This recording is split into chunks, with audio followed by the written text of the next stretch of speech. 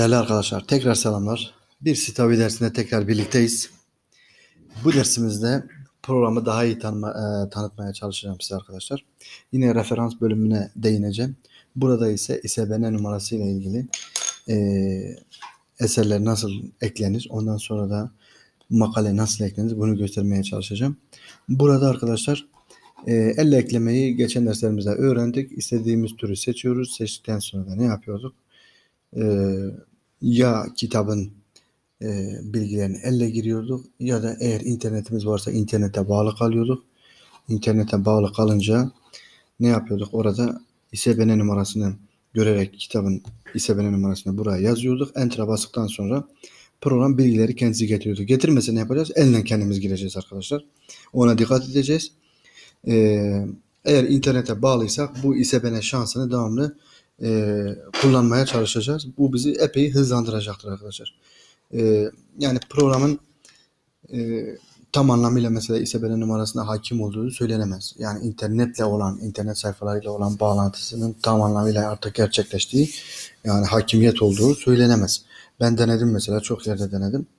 E, ama bu ISBN numarasında program bayağı iyi arkadaşlar. ISBN numarasını hemen kopyala yapıştır yaptığımız zaman göreceksiniz makaleler olsun. Ondan sonra da makalelerde doy numarası var. O doy numarasını kullanacağız. Ee, kitaplarda olsun. Program hemen kitabın künyesini ekliyor arkadaşlar saniyede. Ne yapalım? Biz bugün tekrar mesela bakın ne yaptık? Ee, ISBN numarasını kullanarak dedim ya bakın ISBN numarasını biliyorsak buradan da ekleyebiliriz. Program ne yapıyor? Burada araştırıyor. Araştırdıktan sonra bunu e, nereye ekliyor? Yani bizim listemize bu referansları eklediğimiz listemize ekliyor. Hemen deneyelim. Hemen deneyelim. Uygulamada göstersek daha güzel olur. Mesela diyelim ki bir dergi sitesine geldim. Bakın mesela Türkiye Cumhuriyeti Ege Üniversitesi Edebiyat Fakültesi Tarih Bölümü Tarih İncelemeler Dergisi. Ee, bu dergide mesela makaleler yayınlanıyor. Bakın mesela makaleleri göreceksiniz. Evet bakın mesela bir makale yayınlandı. Şimdi Sitavi ne yapıyor arkadaşlar? Sitavi şöyle bir şey yapıyor. Eğer bu tür makale dergilere girdiğim zaman şöyle kapatayım. Dergilere girdiğim zaman e, Sitavi eğer bir makale açıksa ve bu makalede bir doy numarası varsa dikkat edin bakın doy numarası varsa ne yapıyor? Bunu analiz ediyor ve bunun eklenebileceğini gösteriyor. Şurada altta da bakın son kısımda diyor ki Sitavi bir tane referans buldu. Eğer bunu isterseniz yani direkt olarak import edebiliriz arkadaşlar. Hemen ne yapalım? Import edelim mesela. Import edelim. Tıkladık. Tıkladıktan sonra böyle bir şey de çıkacaktır. Evet tamam dedikten sonra ne yapıyoruz? Bunu bakıyoruz. Acaba eklendi mi? Bakın geldi otomatikmen. Şu kısımları da görüyorsunuz. Evet.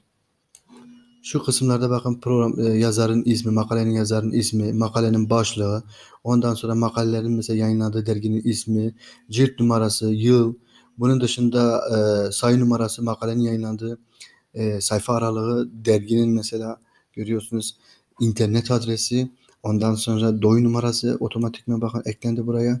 E, makalenin Türkçe olduğu belirtiliyor ve kaynağında özellikle dergi Parkov tarihi olduğunu belirtiyor.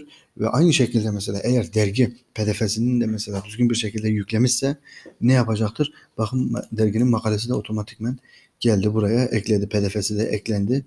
Yani bu bilgileri biz elle girmedik. Program otomatikman sadece bir tıklamayla program bunları hepsini aldı getirdi bize hazır hale getirdi. Şu anda künyemiz dört dörtlük eklendi. Ondan sonra da listemizde yeri aldı. Yerini aldıktan sonra bakın pdf'si de eklendi. pdf'sinin eklenmesini nereden görüyorum? Bakın şurada ataç işareti var. Bu pdf'sinin eklendiğini göstermektedir. Ben pek pdf'yi hemen bir kontrol çek yapıyorum. Bakın doğru mu? Doğru. Bilgiler doğru mu? Doğru mu? Bunların doğruluğunu hemen kontrol ediyorum. Artık ne yapıyorum? PDF'yi okuyorum, not alıyorum. PDF'yi okuyorum, not alıyorum. PDF'yi okuyorum, not alıyorum. Yani burada notların yerlerini de belirliyorum. Bu konuyla ilgili de size bilgi vermeye çalışacağım. Bir de mesela kitap ekleyelim. Mesela kitaplarda da diyelim ki internet sitesine girdik. Kitap ekleyelim.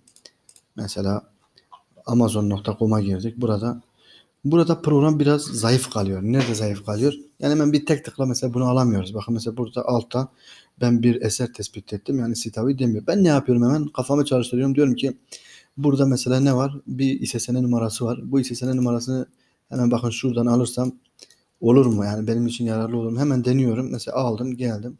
Bakın şurada ISBN numarasını giriyorum. Pas diyorum. Ondan sonra Enter'a basıyorum.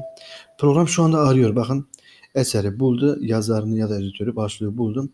Burada mesela seçersek arkadaşlar bunu mesela bakın ne yaparız? Projeye dahil edebiliriz. Bakın seçtik. Otomatikmen geldi. Şu anda bakın pencereleri tekrar ayarlıyorum. Bakın mesela kök mantolu Madonna geldi. Bu kadar bilgi geldi. Evet. Dikkat ederseniz burada da mesela şey var.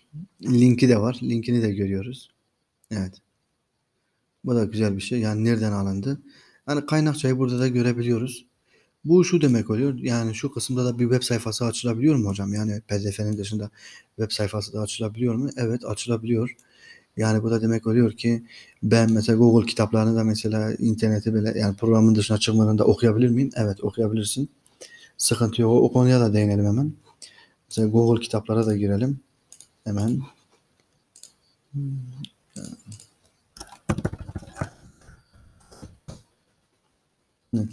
Dergi makalesini dediğim gibi bu şekilde tekrar edelim. Mesela program sayfaları açılana kadar.